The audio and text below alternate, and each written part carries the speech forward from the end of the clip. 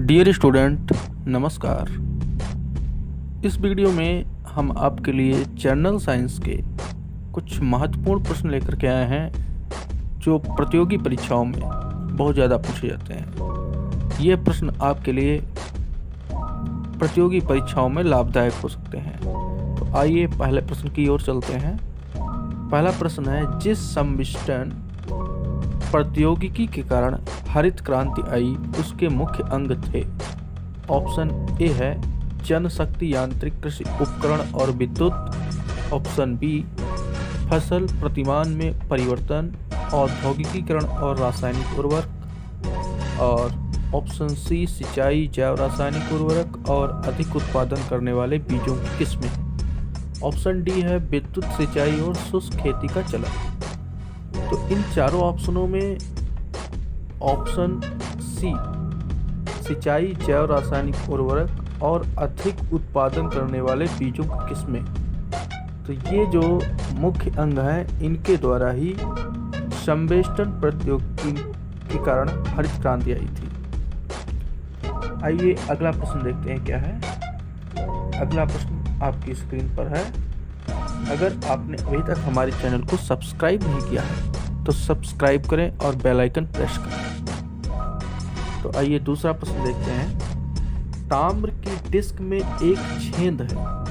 यदि डिस्क को गर्म कर दिया जाए तो छेद का आकार क्या होगा? छेद के आकार में क्या परिवर्तन ऑप्शन ए है, बढ़ता है। ऑप्शन बी, घट जाएगा। ऑप्शन सी, उतना ही रहेगा या उतना ही रहता है। ऑप्शन डी, पहले बढ़ता है और फिर घटता है। इसका आंसर क्या होगा? इसका आंसर होगा कि आकार घट जाएगा, अर्थात ऑप्शन बी जो होगा वह सही होगा। इसके बाद चलते हैं अगले प्रश्न पर। अगला प्रश्न है, रेडियो एक्टिविता की परिघटना की खोज की थी। तो रेडियो एक्टिविता की परिघटना की खोज किसने की? ऑप्शन ए मैडम क्यूरी ने, option B J J Thomson ने, ऑप्शन सी रोएंटजेन ने और ऑप्शन डी है बेकेरल ने। तो इन चारों ऑप्शनों में कौन सा ऑप्शन सही होगा? इसमें जो ऑप्शन डी है, बेकेरल है, ये ऑप्शन इसमें सही होगा। इसके बाद अगले प्रश्न की ओर चलते हैं। अगला प्रश्न हमारा है कि औद्योगिक बहिस्राव द्वारा किए जाने वाले जल प्रदूषण को रोकने के लिए निम्नलिखित में से कौन से अपतरण को उपयोगी पाया गया है? तो इन तो इनके भी चार ऑप्शन हैं। इसमें चार ऑप्शनों में हम देखेंगे। पहला ऑप्शन है पार्थे पॉन्थेनियम और बी ऑप्शन है हाथी घास। सी है जलकुंभी और डी है इनमें से कोई नहीं। तो इसका आंसर जो होगा, वह होगा जलकुंभी। अर्थात ऑप्शन सी सही होगा। अगले क्वेश्चन पे हम चल रहे हैं। अगला क्वेश्चन है हमारा, निम्नलिखित में से कौन सी गैस उच्चतम उष्मीय मान रखती है?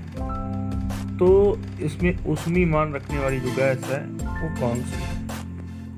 तो फ़र्स्ट है प्राकृतिक गैस सेकेंड ऑप्शन है भाप अंगार गैस थर्ड ऑप्शन है कोयला गैस, और फोर्थ ऑप्शन है इंडियन गैस।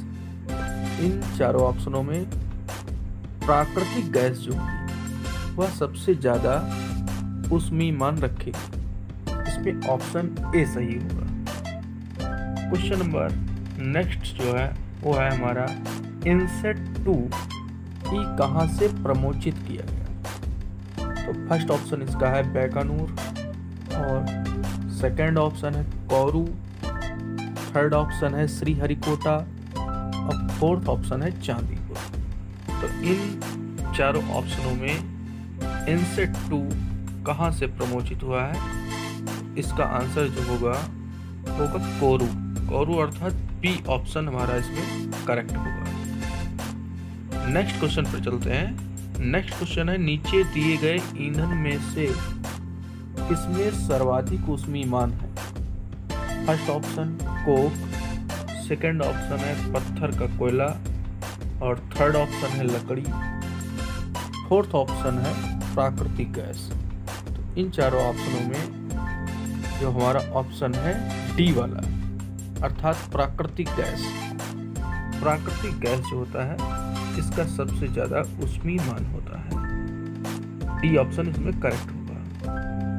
नेक्स्ट क्वेश्चन है, सागर में बहते हिमखंड के द्रव्यमान के कुल दस भागों में कितना जल तल के ऊपर होगा?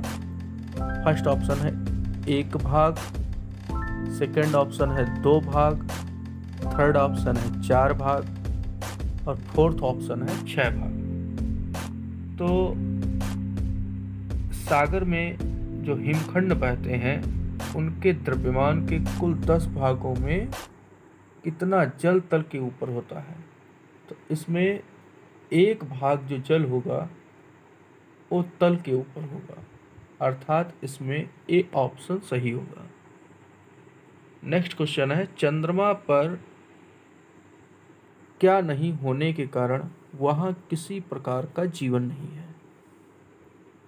तो यहाँ पर ऑप्शन जो दिए गए हैं नाइट्रोजन गंधक ऑक्सीजन जल। तो हमको ये पता है कि किसके बिना हमारा जीवन संभव नहीं है।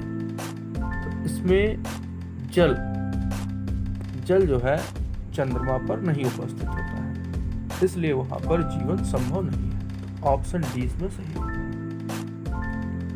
नेक्स्ट क्वेश्चन पर आते हैं। नेक्स्ट क्वेश्चन है, नाभिकीय रिएक्टर में इनमें से कौन सा ईंधन काम करता है?